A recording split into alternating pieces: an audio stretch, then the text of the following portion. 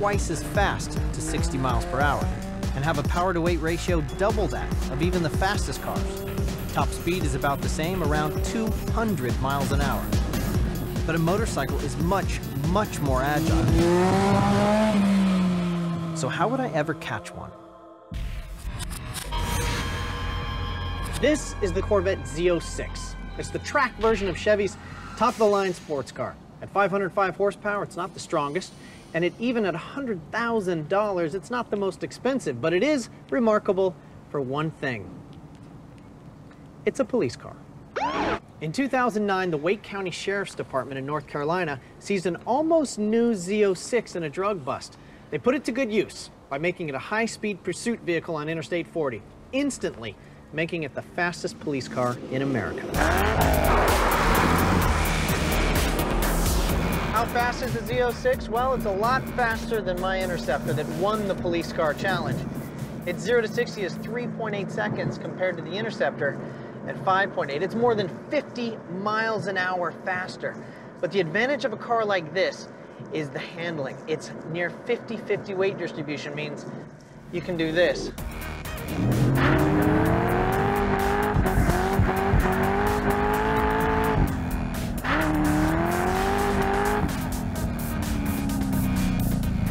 Concentration there. Okay, we are going to get busted. Wait a minute, I'm a cop. I can do whatever I want. Oh my gosh, this thing sounds so mean. Instead of a siren, they should just amplify the exhaust. Nobody would run. Top speed of 198 miles per hour, the Z06 is undoubtedly fast, but does it make a good police car? You know this is not a practical car for a police officer. Not the best at getting through the alleys as it does bottom out a bit. Oh, yeah, that's not good. You can't fit a computer in it. You couldn't fit a perp in there. You'd have to be riding shotgun with you, which is probably not the best scenario. I mean, there's hardly anything practical in a police sense about this car except high-speed chasing. So it was clear the Z06 was only good for one thing. The question was, how good? This is Ernie Vigil and his 140 horsepower Triumph 1050 speed triple. That bike will go 0 to 60 in about two and a half seconds. And Ernie's one of the best stunt riders on the planet. So if you were robbing a bank and you could fit all your goodies in a man purse and you're trying to get away, this probably be your guy. But I'm not robbing a bank. I'm the police. Instead, I'm gonna chase him. The chase would be over a five mile course around the harbor. The first section was a flat out drag race that would definitely favor the bike's superior acceleration. Next, we'd weave around the warehouses, looking for the fastest route through. Then it was onto the docks, and because the Corvette was better at cornering, this giant maze of shipping containers would work to my advantage. Finally, to win, I'd have to beat him across the finish line at the end of my jurisdiction on the far side of the Vincent Thomas Bridge. So, if I can cross the finish line before the bike, then I've proven that I can catch the fastest getaway machine in the country with a working, real live police car. If I don't, pretty sure every bad guy's gonna go get one of those. Good to go, Ernie? Let's do this. Okay, let's be honest. Not a lot of chance here. He's got triple the power to weight ratio, is only two feet wide, and I can barely fit through a six foot gap. The only thing I have going for me is the contact patch on the bike is super tiny between the tires and the road, so I can corner faster in this car. So hopefully there's a lot of turns. All right, let's do this, Ernie.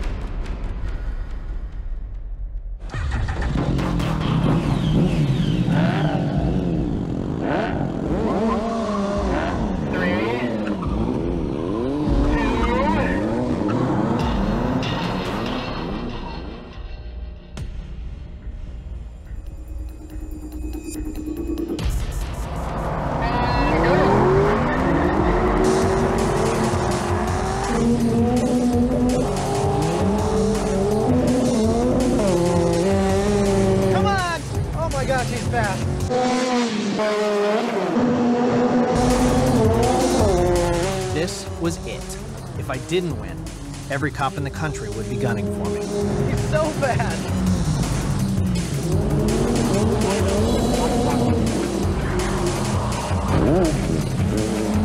Oh, he's going into the warehouse.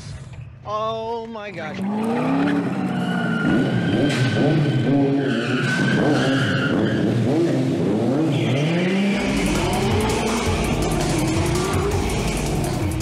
The bike had a huge advantage. This car feels huge. The Corvette was almost scraping the walls and I was losing him. Where is he going? Where is he going? I can't fit through there. I'm gonna go this way.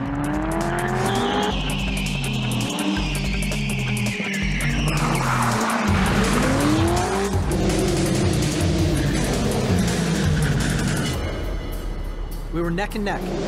The bike inside, me outside. Where is he? Where is he? Then Ernie burst out of the warehouse. Oh, there he is. Time to give him a speeding ticket. Not gonna happen, buddy. Oh, he takes a shortcut.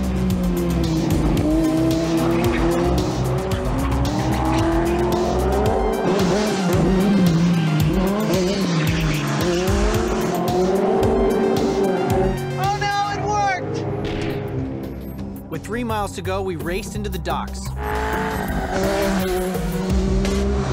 was praying for some tight corners, or the bike would leave me in the dust. Come on, oh, cornering speed. I got him a little bit now. He's a drifting biker and it's so awesome!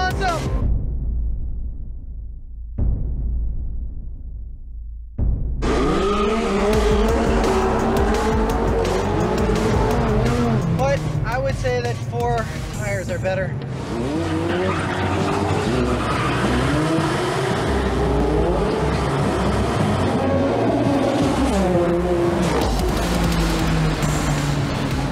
Under braking. Oh, I got him under braking.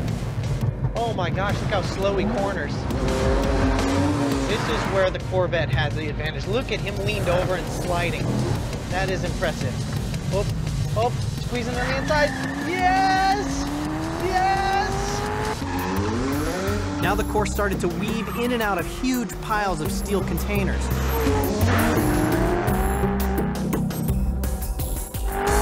Ernie couldn't afford to lose it here he'd crash. Bad for him, good for me.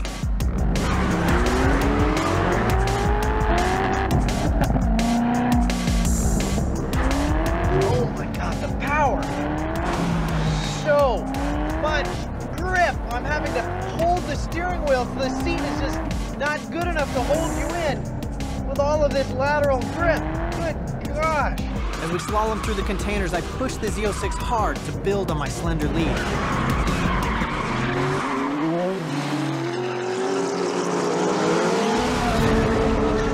After the containers, we headed for the dockside and a half mile straightaway. Ernie was back in the lead with just two miles to the finish. Now we race towards Vincent Thomas Bridge. Its mile and a half span was my last chance to reel in Ernie in his speed triple. Or spend the rest of my life getting tickets from every cop who spotted me. Oh my gosh, he is gone! It was time to lay down the law.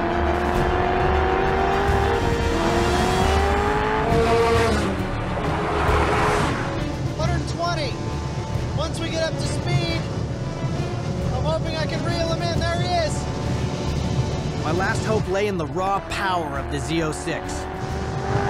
130. Once we hit triple digits, the bike's acceleration would slow. The Corvettes would just keep going. Starting to reel him in a little bit. Doesn't feel the most stable over 140, I can tell you that. See ya! Yeah! 505 horsepower. I'd finally taken him on the bridge. Now I just had to hold him off through the last corner. It down for this one.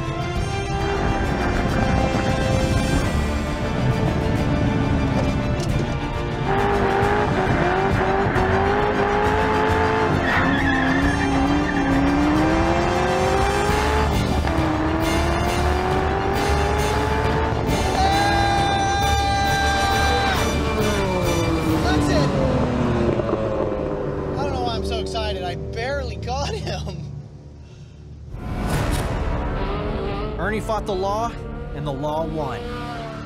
The Corvette Z06 may not be the most practical police car in the country, but I think we've proven there's not a perp alive that can outrun it.